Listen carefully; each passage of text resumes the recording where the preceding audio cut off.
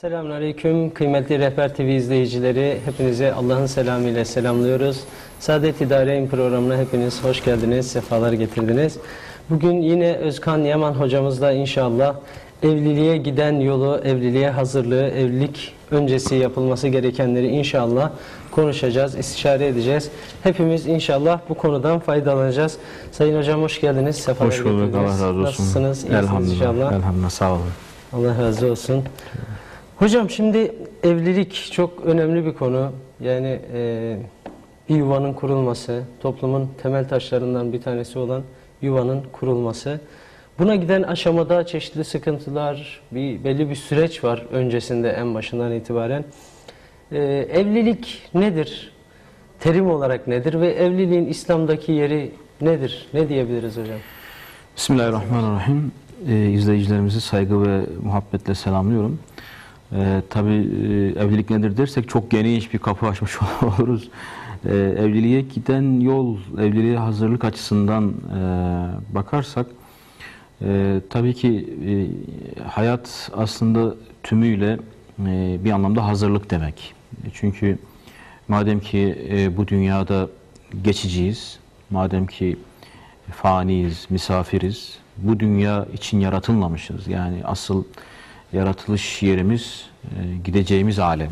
Yani bu dünyada evet mutlaka e, bir gayemiz var, bir hedefimiz var. E, fakat hazırlığımız bu dünya için değil. Hazırlığımız asıl gideceğimiz, asıl kalacağımız, ebedi yurdumuz olan ahiret için. Dolayısıyla bu hayata evvela böyle bakmak lazım. Yani hepimiz bir hazırlık e, yaş yaşamındayız. Yani yaşadığımız hayatın bir adı da hazırlıktır. E, çünkü ayet-i kerimeler de bize herkes yarın için ne hazırladığına baksın derken veya azıklanın en hayırlı azık takvadır derken e, sürekli bize o hazırlıktan haber veriyor. Hayatı işte ahirete hazırlık olarak görürsek evliliğe hazırlığı da herhalde e, bu bakış açısıyla değerlendiririz. Yani bizim evliliğe giden yol derken, evlilik derken, evliliğe hazırlanma derken anladığımız şey e, bir haz alma, e, bir e, işte e, ne diyelim lezzet, bir keyif alma e, veya işte yapmamız gereken bir görevi yapmanın ötesinde, bunların çok ötesinde e, evlilikle e, işte Peygamber Efendimiz Aleyhisselatü Vesselam'ın buyurduğu üzere imanımın yarısını e, tamamlamam. Evlilikle işte e, iffetimi daha iyi e, koruma.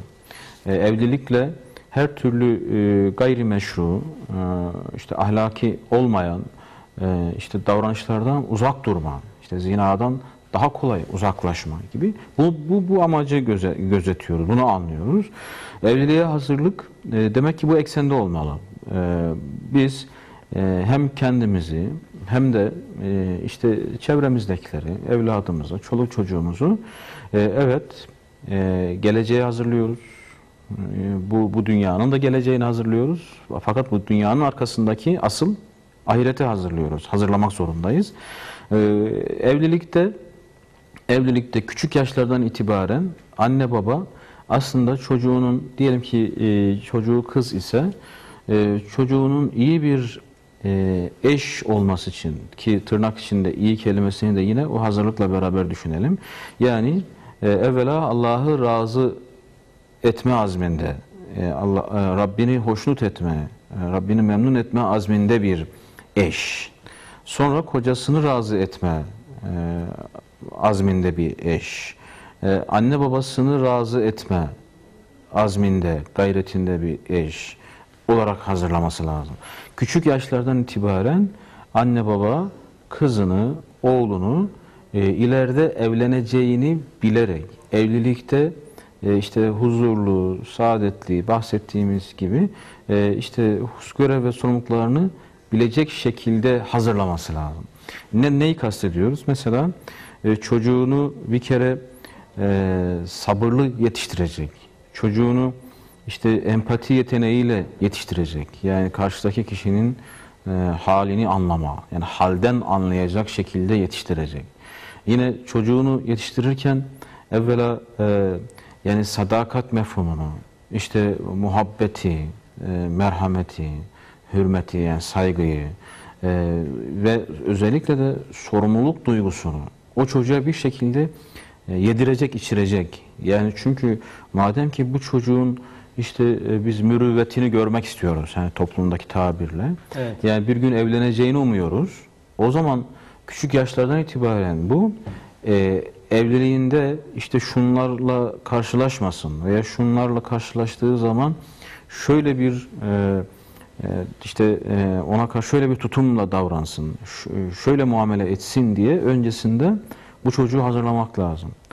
E, tabii ki çocuğa bakarken Aa, işte bu ileride evlenecek ben bu sürekli bunun işte evliliğini düşüneyim falan bunu kastetmiyoruz ama e, çocuğa siz bir şahsiyet gerçekten de e, eş olabilecek, işte hanım olabilecek, koca olabilecek bir şahsiyet, bir olgunluk, bir karakter mutlaka düşünmeniz lazım.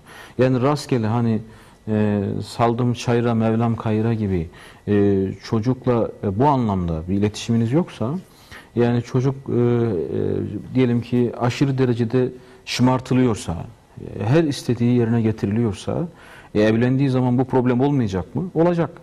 Yani çünkü anne babasında, ailesinde ne gördüyse çocuk evlendiği zaman da bunu e, bunu gösterecek yani. Veya e, düşünün ki e, çocukla hiçbir şekilde e, bir, bir- birlikte bir vakit geçirilmediyse, çocuğa ihtiyaçları sorulmadıysa, dertleri sorulmadıysa, çocukla anne babası çocuklaşmadıysa, ço- onunla çocuklaşmadıysa, yani ona olan göstermesi gereken sevgiyi, ilgiyi, alakayı tam olarak göstermediyse, vermediyse, e, bu evlilikte problem olmayacak mıdır? E, olacaktır. Veya e, çocuk öfkelendiği zaman öfkesini nasıl kontrol edeceğini öğrenmediyse, yani e, öfkelediği zaman ortalığı yakıp yıktığında, bağırıp çağırdığında veya kötü sözler söylediğinde e, ailesi buna bir şekilde bir bir ayar vermediği zaman peki evlendikten sonra bu sorun olmayacak mıdır? Olacaktır.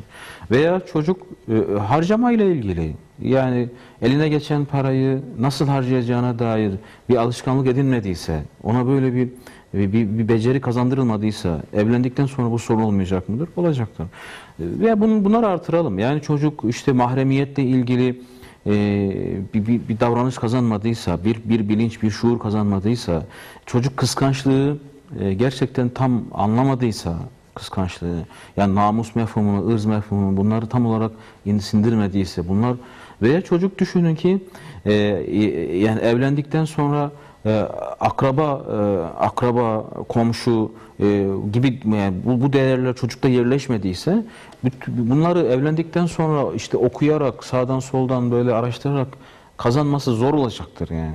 O yüzden anne baba evladına e, evvela iler, ilerisi için mutlaka ev, evlendikten sonraki hayatı için, evliliği için mutlaka bir şeyler yüklemelidir.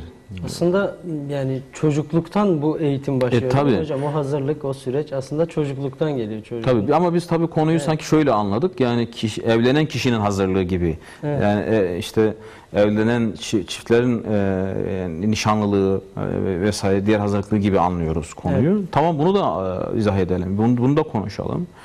E, yani düşünün şimdi siz evliliğe e, adım atacaksınız ama paranız yok. E, ve diyorsunuz ki ya parayla saadet olmaz. Şimdi böyle bir yaklaşımla e, gösteriyorsunuz. E, Siz bunu ne kadar söyleseniz de bunun e, hayatta bir karşılığı yok. Yani yaşadığınız dönemi göz önünde bulundurmak zorundasınız.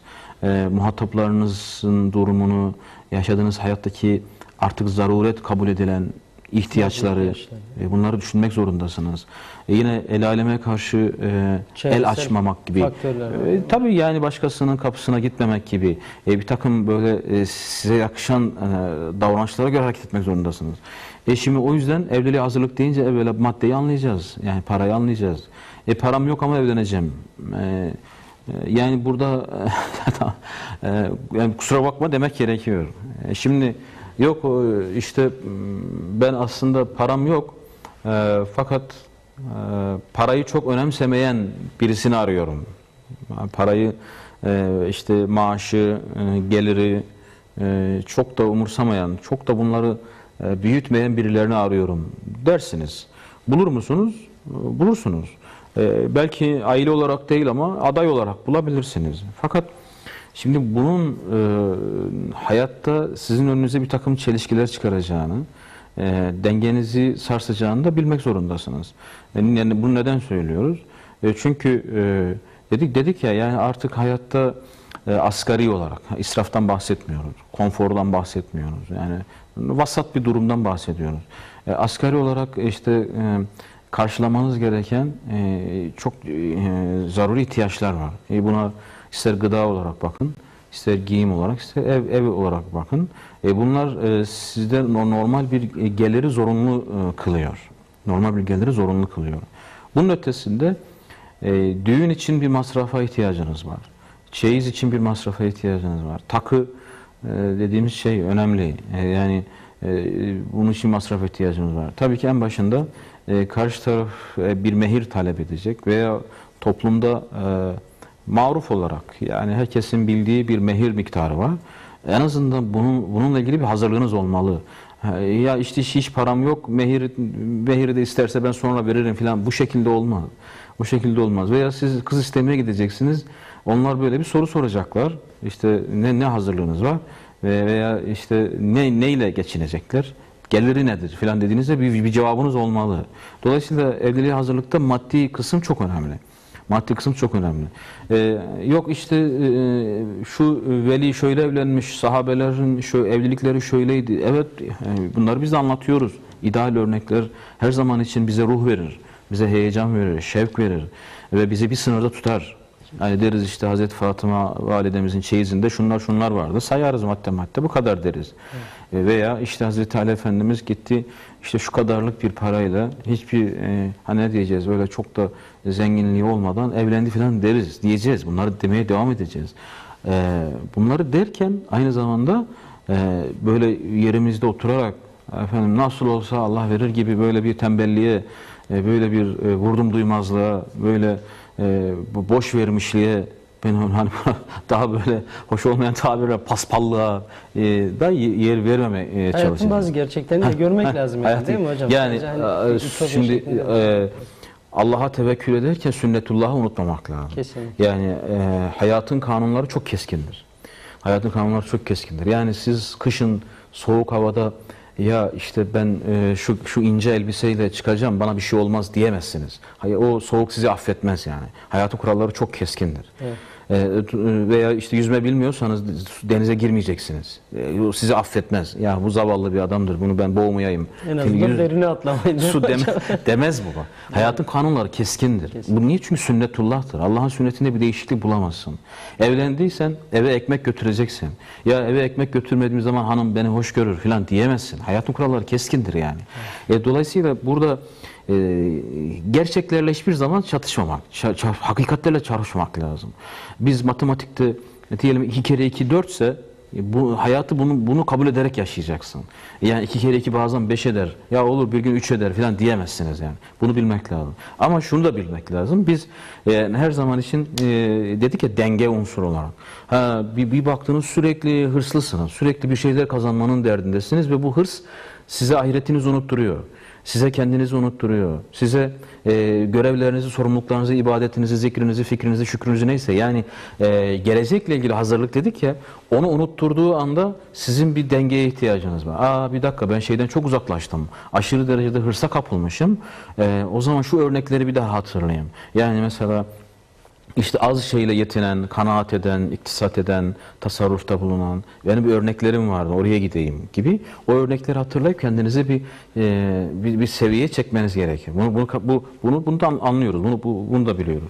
Dolayısıyla evlilikte mutlaka maddi hazırlık olmalı. Yani bugün için e, diyelim ki mehir ne kadar e, ortalama 100 gram altınsa bir kere 100 gram altınlık bir birikiminiz olmalı.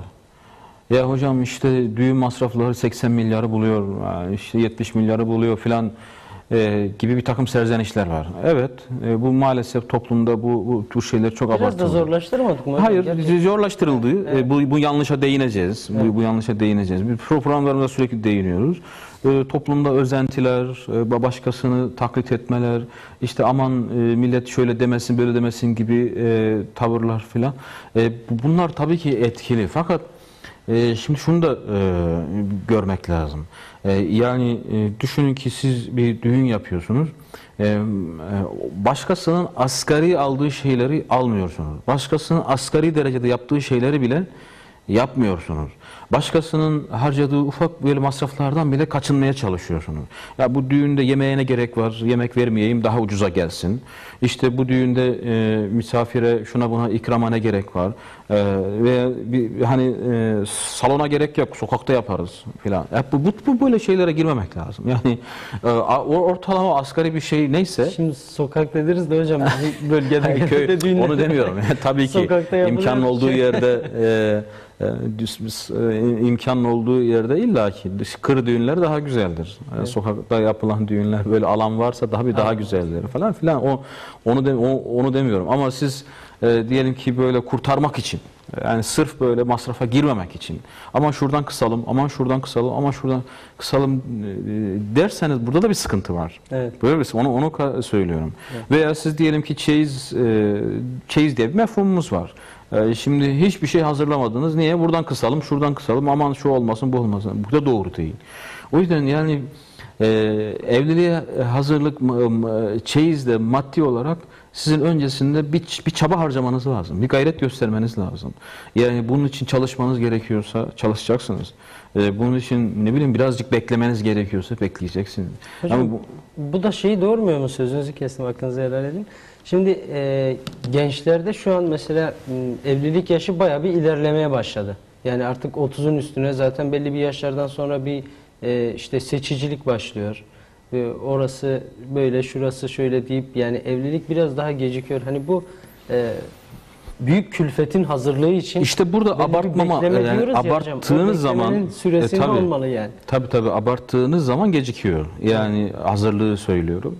Ee, işte e, düğünümde şunlar şunlar şunlar mutlaka olmalı derseniz e, veya e, uygun adayı bulamadım o işin ayrı, ayrı bir tarafı. Karşı Gecikmenin, tarafın e, beklentileri de biraz asgaride olmalı değil mi Tabii hocam? asgaride Yoksa- olmalı. yani adam Asgaride- ömür boyu çalışır. Bunu, ya. e, evet toplum genelinde bir, bir gecik yani evliliği geciktirmenin e, birçok nedeni var. Yani bunu sık sık konuşuyoruz ama e, bunu e, işte sadece düğünün e, külfeti olarak düşünmemek lazım. E, yani birçoğunda e, gençlerin işte e, kendine gü- güvensizliği artı işte ben kafama göre birisini bulamadım tarzında böyle bir tuhaflık. Ee, işte e, tabii bizim meclisimizden dışarı olan yani işte gününü gün eden o onlar da ayrı bir kısım. Ee, fakat e, yani hiç kimse ben evliliği geciktirenlerden böyle ya işte düğün mas çok masraflı olduğu için geciktiriyoruz diyeni çok duymadım. Yani e, ya işte vallahi e, geçen sene evlenecektim ama bir 10 milyarımız eksik çıktı. O yüzden bir sene e, erteledik filan. Olabilir, deniyordur veya vardır bu Vardır, ama azdır yani. Şimdi bir de düğün gibi, e, evlilik gibi böyle e, sürekli hayır ve bereketi konuştuğumuz e, hayatın olmazsa olmazları e, mutlaka çevreden ilgi görür, alaka görür, yardım görür, destek görür. Yani e, ben evleneceğim diyen bir gence işte akrabalarının ya kusura bakma biz sana yardım etmeyiz e, diyeceklerini pek sanmıyorum. E, Ve eşinin akrabalar olmasa bile eşinin, dostunun e, mutlaka ona, ona bir katkısı olacağını da bilmek lazım. Allah'ın da bir bereketi o zaten o zaten en başta. Şimdi maddi hazırlık e, böyle. Yani mutlaka asgari e, bir hazırlık e, olması şart. E, maddi olarak. Yani işte mehir e, parası hazır olmalı. Yani 100 gram altınsa 100 gram altın miktar şeyimiz hazır olmalı yani. E, artı e, dediğimiz gibi yani bu evlilik sonuçta bir e, bir nafakayla yürüyecek gibi gelir olacak. O yüzden yani aylık bir gelir gibi bir şey olmalı ortada. E, çeyiz, asgari bir çeyiz, asgari bir ev eşyası filan bunlar bunlar olmalı. E, hazırlık derken bunları da anlıyoruz. E, işte bu için içine siz detayları katın. Yani eşyayı katın, giy, giyimi katın, düğün salonu filan katın. Ya bu, bu, bu bir bir ortaya bir şöyle bir hesap yapıp ha, şu kadar en az şu kadarlık bir giderimiz olacak. E, Bunu bir yerden bulmamız lazım. Ya belki bu e, bunu borçla morçla öderiz filan da olsa e, bu bununla ilgili bir bir hazırlık olması lazım. Fakat hazırlık derken herhalde asıl başta söylemeye çalıştığımız manevi hazırlığı anlıyoruz. Yani evliliğe hazır olmak derken hem ruhen yani psikolojik olarak hazır olmak.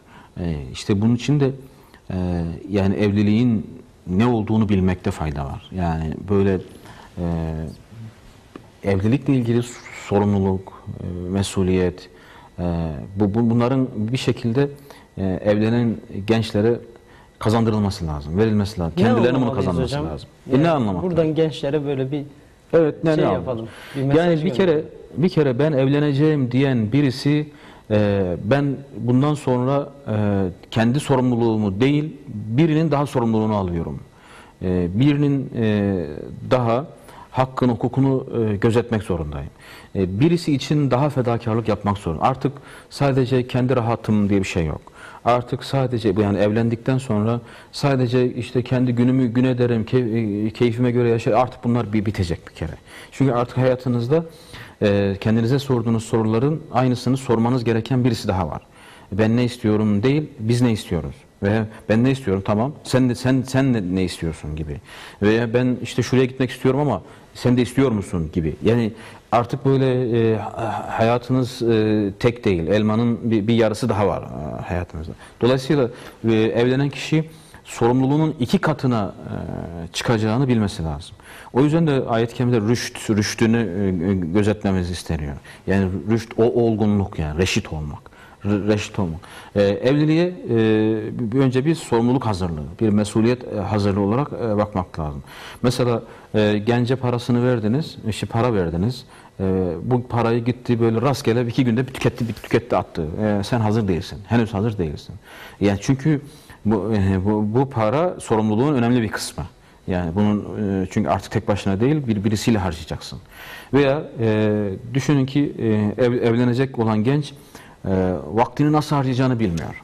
Vakt, vakt, vaktini şöyle çok çok kontrolsüz harcıyor. Hayat gibi büyük bir sermayeyi işte e, rastgele e, o eğlencede, o kafede, o, o- orada burada e, heba ediyor vaktini. Ve kusura bakma sen daha hazır değilsin. Çünkü senin artık vaktin sana ait değil ki kendine ait olan vakti bile böyle harcıyorsan e, yarın bu bu e, hayata bir kişi daha girecek. O zaman bu vakti çok daha dikkatli harcamak zorundasın. Evliliğe gelmeden önce bu vakit disiplini bir kere kazanılması lazım. Yani e, evlilikten sonra da kazanılır mı? Kazanılır. Yani bu e, böyle çok ümitsiz konu- konuşmayalım ama e, vakit, hayat bu- bunları bilmek lazım. Üçüncüsü de e, sizin bir kere e, ev- e, evlendiğiniz zaman e, işte şu anda akrabalarınızla olan hukukunuz nasıl? Yani e, işte abinizi, amcanızı, dayınızı, teyzenizi, neyse halanızı ne kadar e, soruyorsunuz, ne kadar ilgileniyorsunuz? Evlendikten sonra bu ikiyle çarpılacak artık. Yani siz şunu diyemeyeceksiniz. Yani ben kendi anne babama sorarım, kayınbabam, kayınanam falan bunlar beni çok da ilgilendirmez. Kayınlarımı çok da umursamam diyemezsiniz. Bunu ikiyle çarpacaksınız. Dolayısıyla şu an sizin akrabalıkla ilgili haklarınızı, hukuklarınızı şöyle bir daha bir gözden geçirmeniz lazım. En, en başta söylememiz gereken ki e, bunu sürekli parantez içinde olduğu için söylüyoruz. e, Rabbinize karşı olan görevlerinizi ne kadar yapıyorsunuz? Borçlarınızı nasıl ödüyorsunuz? Yani eğer siz gerçekten de Allah'a e, karşı olan e, hukukunuzu yani e, Rab- Rabbinizin size emrettiğini e, yeteri kadar umursamıyorsanız yarın eşinizin sizin üzerinizdeki hakkını nasıl gözeteceksiniz? Gözet gözetirsiniz. Yani gözetmez değilsiniz ama e, yani bir yerde e, huzur, saadet, ağız tadı ancak Rabbimizle olan münasebetimize bağlı, alakamıza bağlı. O yüzden evliliğe hazırlıkta e, ben önce e, diyelim ki bir e, abdestle başlayayım yani şu işe. Abdest, şu abdesti bir daha okuyayım yani. Nasıl alınıyordu abdest? E, abdestin, gusül abdesti neydi yani? Nasıl, neyin için alınırdı? E, maalesef öyle e, sorularla karşılaşıyoruz ki evlendikten sonra gusül abdestini tam olarak bilmeyen, yani bilse bile hmm, böyle eksik noksan e, bilen maalesef böyle örnekler var. E, dolayısıyla evlenmeden önce e, ya işte bu evliliğin mahremiyetleriyle ilgili, evliliğin özel hayat, özel kısmı ile ilgili acaba e, şu bilgilerimi tazelesem diye sık sık kendisine sorup bunu kendine dert etmesi lazım. Dert, dert etmesi lazım. Mesela e, tamam e, nikahtan önce boşanma konuşulmaz ama e, sözler e, acaba konuşurken nelere dikkat edeyim? Yani ben ne söylersem bu nikaha zarar verir. Nikahımıza zarar verir. E, evde neye dikkat etmezsem Neye dikkat etmezsem ben işte o evliliğin o manevi yapısına zarar veririm. Bu bütün bu- bunlarla ilgili en azından şöyle e, bir kitap karıştırmıyorsa bile e, birilerinden bir şeyler duyması lazım. Birilerinden bir şey alması lazım. Ya ben bunları biliyordum, ben bunları filan zamanda okumuştum. filan. Hayır. Filan zamanda okuduğunuz şeylerin üstünden çok şey geçti. Yani desem ki iki gün önce ne yediniz? Hatırlamakta zorlanacaksınız. Yani, yani dolayısıyla böyle ben bunları okumuştum, biliyordum filan değil. Madem ki evleneceksiniz o zaman bu, bu bilgileri Bir güncellemek lazım. güncellemeniz lazım. Yani güncellemeniz lazım, bir tazelemeniz e, lazım. Bilgi, bilgi önemli. E, ve e, sürekli e, evlilik öncesinde, evlilikte, evlilikten sonra her noktada hani üstadın dediği gibi e, mutlak dua, mutlak dua, yani sürekli dua. E, yani Allah'ım hayırlısını nasip eyle. Allah'ım bunu benim için bereketli nasip kıl gibi sürekli dua. E, evlilik öncesinde bazen abartılır. E, yani doğacak çocuğun işte beşiği, beşiğine konacak yastığın deseni falan bu, bu, bu- bu- bunlar da hazırlık olarak düşünülmeli. Yani evlilik e, de madem ki böyle bir ö- ö- önemli bir ayrıntı var çocuk gibi. e, yani bu çocuğa hazırlık da e, önemli. Şimdi biz bir de evliliğe hazırlıkta aday konusunu, aday seçme konusunu konuşuyoruz. Yani bu bu da belki e, ayrı program ayrı programların müstakil konuları ama e, madem ki evliliğe hazırlanıyorsunuz, eğer adayı e, yani e- eş e, seçilmediyse e, bu, bu hazırlıkta bunu da düşünmeniz gerekir. Yani e, ben evliliğe ha- hazırlanıyorum, bir eş arıyorum diyorsanız bununla ilgili de bir bir bilginiz olmalı. Nasıl bir eş gibi. Yani kendi Belli kafama kriterler olmalı değil mi hocam? işte Yani- kriterleri e, evet mutlaka kendi kafanıza göre bir takım ölçüleriniz olacak, kendi tercihleriniz olacak. E, fakat e, madem ki evlilikten e, gaye huzurlu bir e, hayattır, evlilikten gaye evvela başladığımız gibi Rabbimizi razı etmektir. Evvela onun rızasını kazanmaktır. Onun rızasına e, uymayan adaydan uzak durmak lazım. Yani namazla tam böyle yan yana gelemeyen e, veya Allahu Teala'nın yasaklarına e, karşı bir hürmeti olmayan e, kişilerden uzak durmak lazım. Çünkü e, biz ne yaparsak yapalım, ister evlenelim, ister bekar kalalım. Sonuçta bizim bu hayattaki asıl e, e, esprimiz, yaşama, ayakta durmamızın asıl e, nedeni Rabbimizin bizden razı olmasıdır. E şimdi sizin Allahu Teala'nın razı olmayacağı birisi, sevmediği e, birisi, Allahu Teala'nın bir, bir bir anlamda dışladığı yani kovduğu huzurundan kovduğu birisi sizin evinizde de olmamalı. Sizin yanınızda da olmamalı. Yani bunu Allah kovmuş yani bir, bir öyle gözüküyor adamın yani bu e, haramlara böyle bulaşması, böyle fütursuzca, ahlaksızca bir hayatı tercih etmesi e, bunun kovulmuş olduğunu gösteriyor. Ben, ben bunun niye kovulanı ben niye alayım gibi böyle bakmak lazım olaya. Yoksa siz yarın işte ondan merhamet beklediğiniz zaman nerede bulacaksınız o merhameti? Çünkü, merhametle iman e, bu, anne babadır. E, şey, anne çocuktur. Yani e, e, merhametin annesi imandır. E siz ondan yarın size karşı böyle acımasını bekleyeceksiniz. Sizi affetmesini bekleyeceksiniz. E bunda namaz yok. E, namaz kılmayan adam nasıl affet? Bil, bilmez ki. Bilse bile çok yüzeyseldir onlar. Veya siz e, gerçekten de hani sırf böyle e, kara kaşına kara gözüne e, ne diyelim hani böyle e, rastgele bir evlilik yaptınız. Veya parasını e, önemsediniz. E, işte e, ne diyelim makamını e, filan önemsediniz. Evlendiniz.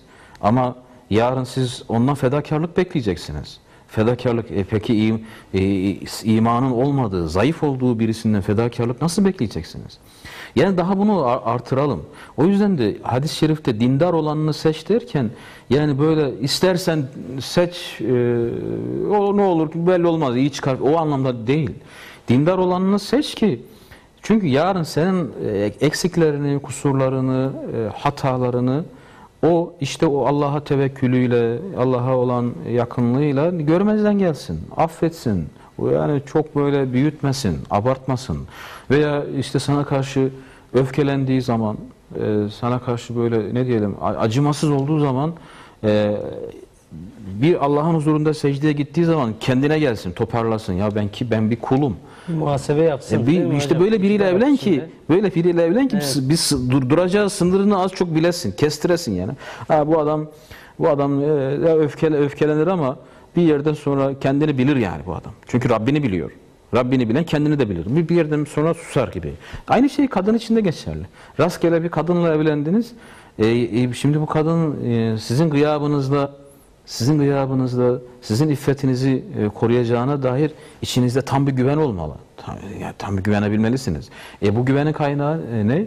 E bu güvenin kaynağı da Allah'a olan e, Bağlılığın- bağlılığı. E, Oradan e, alacaksınız bunu. Ha, ya bu işte işine çok bağlı. Dolayısıyla bana da bağlanır. İşine çok bağlı bana bağlanır. E, Yarın işten atılır. Çünkü o bir, onun alternatifi var. O, o, o bir ölçü değil çok fazla. Veya bu e, gerçekten çok iyi konuşuyor. Çok güzel konuşuyor. Bu bana güven verdi filan. E, bu bir ölçü değil. Bu bir, diyemezsiniz bunu.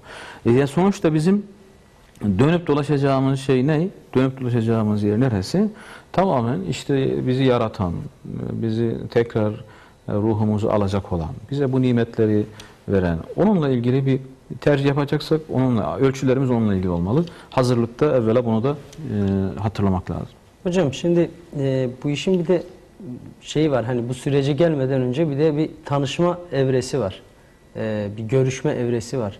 Yani evlenmek için seçilen kişiyle tanışma İslami açıdan nasıl olmalı? Yani e, bu yola girerken evlilik yoluna girerken ilk adım nasıl olmalı?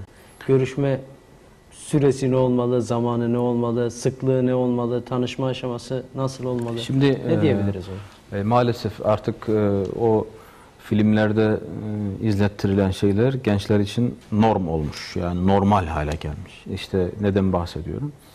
Biz bir yıldır görüşüyoruz, bir yıldır hani çıkıyoruz tabiri biraz daha uzak ama bir yıldır işte bir şekilde e, görüşüyoruz, tanışıyoruz. E, yakında ona evlilik teklif edeceğim filan.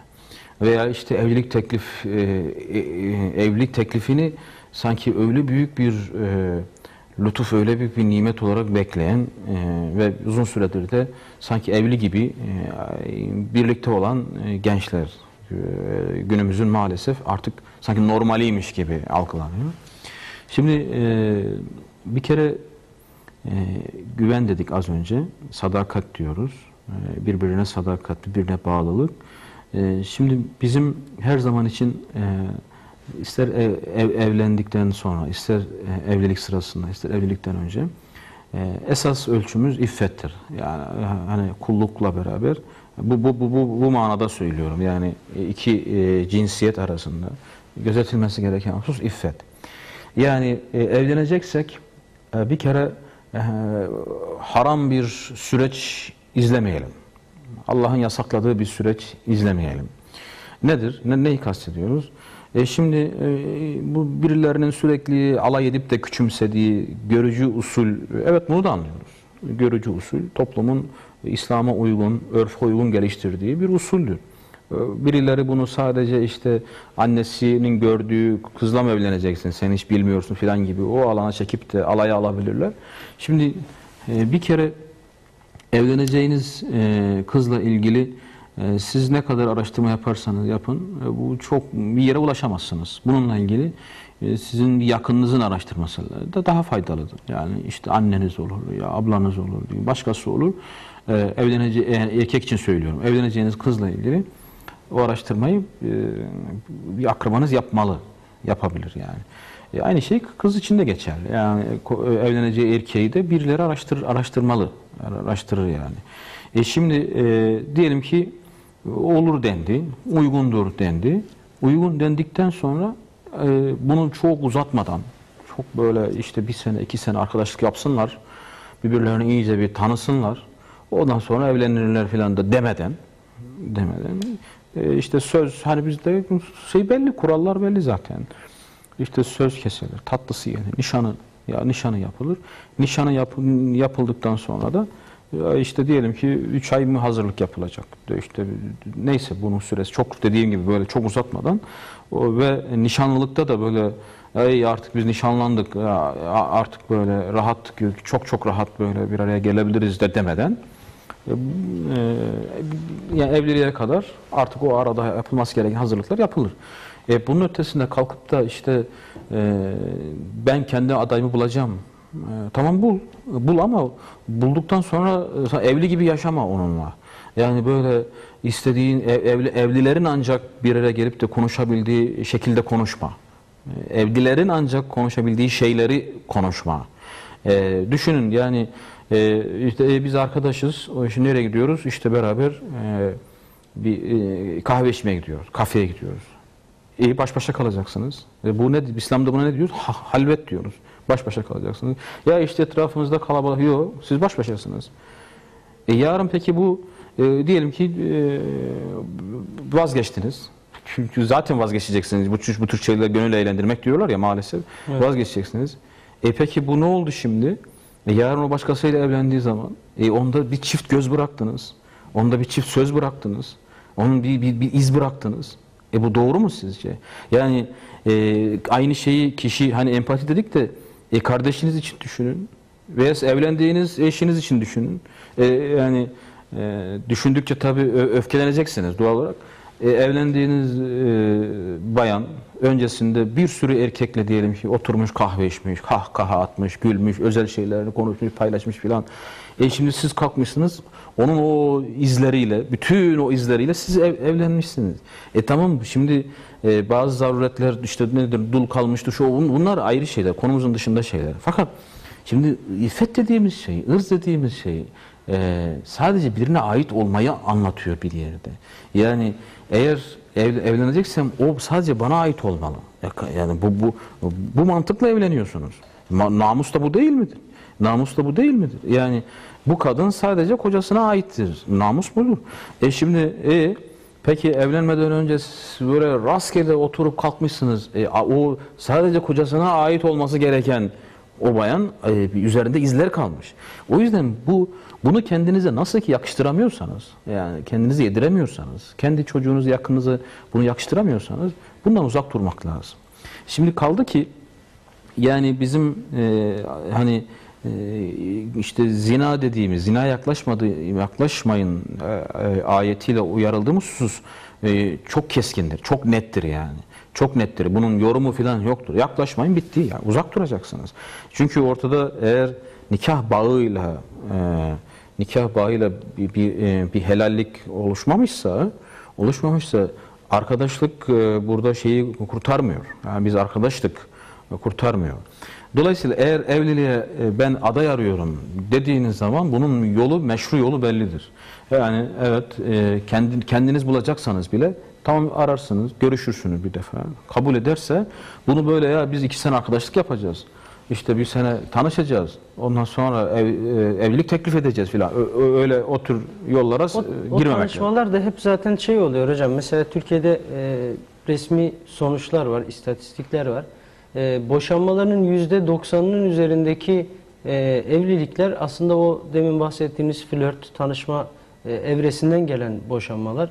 Ve mesela e, diyelim ki şeyler, e, çiftler, taraflar e, çok daha nazik hani o flört süresinde çok daha kibar yani asıl olduğu gibi olmadığı için evlilik şeyinde hani ya sen melektin içinden deccal çıktı gibi şeyleri duyup daha sonra o şeyler yaşanıyor hocam. Aslında hani dediğiniz gibi meşru yolları insanlar biraz daha kendini daha şey gösteriyor değil mi hocam? Hani böyle Yani gibi evlendik yani. tabii. Şimdi evlendikten sonra illaki daha önceki yanlışlarını terk eden e, mutlaka çok. E, yani tamam daha önce böyle bir e, arkadaşlık filan neyse e, o tür şeylerden geçmiş ama öğrendikten sonra bütün bunların üstüne bir çizgi çekmiş, pişman olmuş ve, ve evet bunlar çok. Fakat Şimdi bir kere onlar da bir, bir yere kaydedildi. Yani sizin amel defterinize kaydedildi. E, işte e, soldaki melekler yazdı. Eğer çocuğu bir tevbe etmediyseniz Rabbim onlar karşınıza çıkacak. inşallah diyelim. onlar karşınıza çıkacak. İnşallah hani Allah affeder çıkmaz o ayrı bir şey. Fakat onlar var. Fakat bir, bir taraftan da e, siz diyelim ki o tür e, rastgele oturdunuz kalktınız işte e, ya ben bu kızla bir önce bir arkadaşlık yapacağım iki sene dediniz. Yediniz, içtiniz her türlü özel şeylerinizi böyle konuştunuz. Ha ha kahkaha attınız bir araya geldiniz filan filan. Şimdi ondan sonra evlendiniz başkasıyla. Onunla bir şekilde olmadı. Başkasıyla evlen- evlendiniz. En ufak bir sorunda en ufak bir sorunda zihin nereye götürecek? Yani diyelim ki e, eğer e, bu arkadaşlığı erkek yapmış da başka bir bayanla evlenmişse e, erkeğin zihni nereye gidecek? Ya keşke o bayanla evlenseydim. Ben nasıl yaptım filan. Zihni oraya gidecek. Eğer bayan diyelim ki daha önce böyle bir arkadaşlık yapmış da evde bir sorun çıkmışsa zihinde ne o, o daha önceki izler var. Zihindeki izler onu nereye götürecek? Aa bak e, o daha iyiydi. O daha iyiydi filan gibi. Veya tam tersi pişmanlık da olabilir. Tabii hocam, tersi değil pişmanlık yani o yüzden. Yani eşim Yani çok, çok daha güzel bir insan. Tabii yani bunun böyle e, kötü kurgular hoş değil. Yani Evet. bunlar söyleyerek aa, aa, e- eyvah filan tamam demeyelim ama şunu şunu söylüyor temiz temiz, temiz her şeyin temizini seçmek. E, tayyip olan neyse yani ayet-i kerimelerde yani temiz olan yiyeceğin de temizi, davranışın, her şeyin temizliğini seçmek lazım.